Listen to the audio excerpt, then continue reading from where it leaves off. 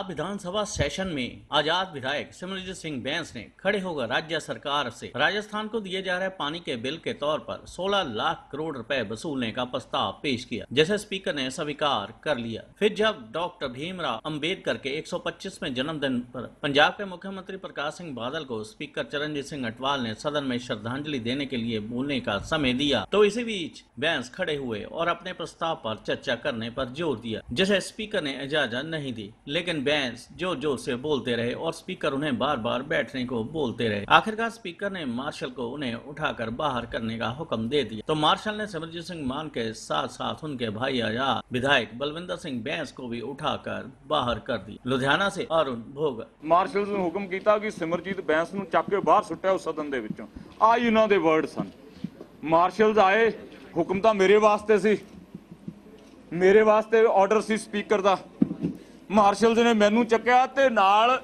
ਸਤਿਕਾਰਯੋਗ ਵੱਡੇ ਭਰਾ ਜਥੇਦਾਰ ਬਲਵਿੰਦਰ ਸਿੰਘ ਬੈਂਸ ਦੀ ਵੀ ਤੁਸੀਂ ਫੋਟੋ ਦੇਖੀ ਹੈ। ਇਹਨਾਂ ਵਾਸਤੇ ਕੋਈ ਆਰਡਰ ਨਹੀਂ ਸੀ।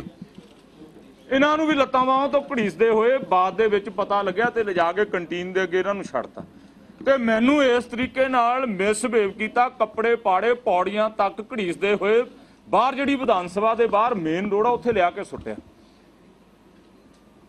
ਤੇਰੇ ਵਿਧਾਨ ਸਭਾ ਬਾਦਲਾਂ ਦਾ ਡੰਡਾ ਤੰਤਰ ਪੰਜਾਬ ਦੇ ਅੰਦਰ ਝੂਠੇ ਮੁਕੱਦਮੇ ਦੇ ਕੇ ਲੋਕਾਂ ਦੇ ਛਿੱਤਰ ਪਰੇਡ ਕਰਨੀ, ਲੋਕਾਂ ਨੂੰ ਪੁਲਿਸ ਤੋਂ ਕਟਵਾਉਣਾ ਤੇ ਪੰਜਾਬ ਵਿਧਾਨ ਸਭਾ ਦੇ ਅੰਦਰ। ਤੇ ਮੇਰਾ ਮਨ ਬਹੁਤ ਭਰਿਆ, ਤੁਸੀਂ ਵੀਡੀਓ ਦੇਖੀ ਹੋਣੀ, ਮਨ ਬਹੁਤ ਭਰਿਆ, ਇੰਨਾ ਭਾਵੁਕ ਹੋਇਆ ਵੀ ਯਾਰ ਸਾਨੂੰ ਤਾਂ ਅੰਗਰੇਜ਼ ਚੰਗੇ ਸੀ। ਅੰਗਰੇਜ਼ ਚੰਗੇ ਸੀ ਮਹਾਰਾਜਾ, ਗੰਗ ਸਿੰਘ ਹੁੰਦਾ ਸੀ, ਬੀਕਾਨੇਰ ਰਿਆਸਤ ਦਾ ਰਾਜਾ।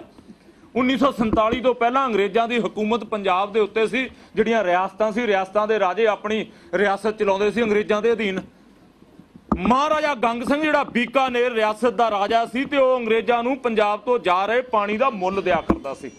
ਮਨ ਰੋਇਆ ਕਿ ਸਾਡੇ ਪੰਜਾਬ ਵਾਸਤੇ ਤਾਂ ਅੰਗਰੇਜ਼ ਚੰਗੇ ਸੀ, ਇਹ ਭੂਰੇ ਅੰਗਰੇਜ਼ ਉਦੋਂ ਵੀ ਉੱਤੋਂ ਦੀ ਹੋ ਗਏ।